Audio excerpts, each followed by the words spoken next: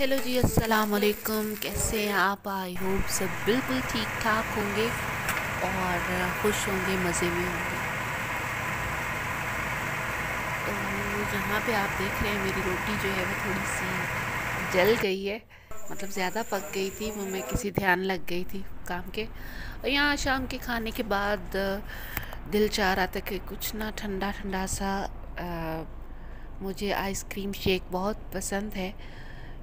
Mango का, या फिर स्ट्रॉबेरी कोई भी है एवोकाडो यहाँ पे ज़्यादा जो होता है, चलता है तो एवोकाडो को भी बहुत मज़ेदार होता है, लेकिन इस वक्त दिल चाह रहा था कि कोई सा भी आइसक्रीम शेक हो, वो ठंडा ठंडा सा पिया जाए क्योंकि मुझे अजीब वो स्टमक का प्रॉब्लम हुआ हुआ था, थोड़ी एसिडिटी सी हो गई थी।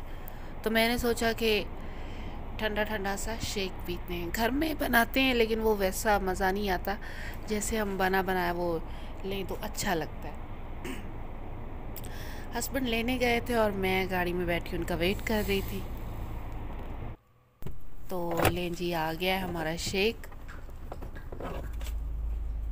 बहुत मज़े का था, यकीन करें। दिल खुश हो गया पी के। तो मैंने आज आप लोगों से शेयर करना था कि मैं पाकिस्तान से क्या कुछ लेकर आई थी छोटी मोटी चीज़ें जो घर के लिए थी कुछ कपड़े थे मेरे बच्चों के और कुछ खाने पीने के चीज़ें जो आपको पता ना हम पाकिस्तान से आए तो हमारे प्यारे जो हैं मतलब घर वाले कुछ ना कुछ साथ कर देते हैं।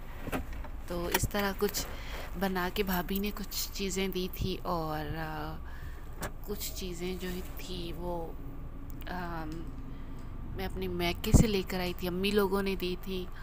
कुछ कपड़े थे बच्ची के जो सबने वहाँ दिए। और ये देखें जी, मैंने कहा आप लोगों से शेयर कर लूँ। ये एक दो पैकेट हैं शामी कबाब बने हुए हैं। और ये फ्री फ्रीज़ कर दिए थे हम लोगों ने ना, बना के। तो आने से मतलब पहले जस्ट जब हम लोग निकलने लगे तब हमने इनको अलग से पैक किया और चार, साढ़े चार घंटे की फ़्लाइट थी हमारी। तो ये इतने ख़राब मतलब कि इतने वो नहीं हुए थे। उसी हालत में अभी वो फ्रीज ही थे। इतने ज़्यादा मेल्ट नहीं हुए थे। तो इनको ला के फिर मैंने दोबारा से फ्रिज में रख दिया और अपनी सही हालत में रहे। शुक्र है क्योंकि मौसम ठंडा था। तो जहाज़ में भी आपको पता है टेम्परेचर जो होता है वो ठंडा ही होता है।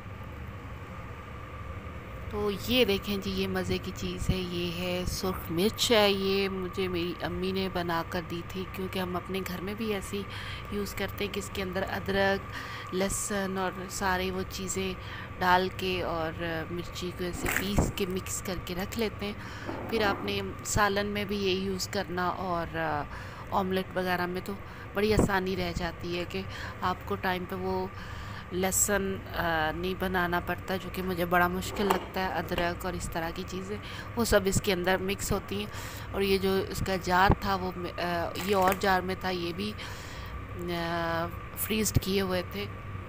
लेकिन इनको मैंने थोड़ा सा मेल्ट करके इनको अपने वाले जार में डाल के रखा है। साथ में शहद था हमारे घर का। और ये थे क्या ना, इसके कुछ आइटम्स थे, मैं फ्रोज़न लेकर आई थी। यहाँ पे भी मिलते हैं तरह तरह के, लेकिन यहाँ का वो मतलब नमक, मिर्च और जो टेस्ट होता है ना, वो वाला मुझे नहीं लगता।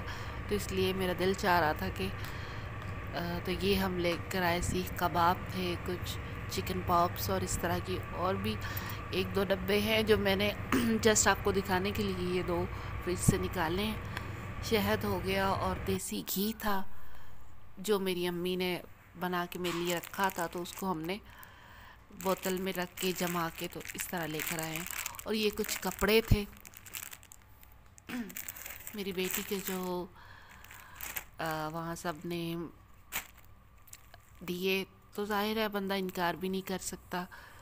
तो मैं तो इतनी ज़्यादा नहीं शॉपिंग पाकिस्तान से इस्तफ़ा कर पाई। वरना आने से पहले कुछ ना कुछ मैं ज़रूर लेती थी बस अपने कपड़े लिए उनको स्टिच करवाया वो साथ लेकर आई हूँ ज़ाहिर है। यहाँ पे आ, कपड़े जो होते हैं वो पाकिस्तान की नस्बत तो बहुत महँगे हैं और कपड़ों से ज़्यादा यहाँ पे सिलाई महँगी होती है। अगर आप यहाँ पे ले लेते हैं और टेलर को देते हैं तो यकीन करें उतने का आपका सूट नहीं होता जितना वो आपको उसकी सिलाई जो आपसे चार्ज करते हैं। तो इससे बेहतर होता कि पाकिस्तान से लेके बंदा सिलवा के साथ ले आए। मैं भी लेकर आई हूँ। और लाने पड़ते हैं क्योंकि फिर पता नहीं कब चक्कर लगे। पहले तो कोरोना की वजह से पूरे दो साल स्टक हुए रहे सारे लोग।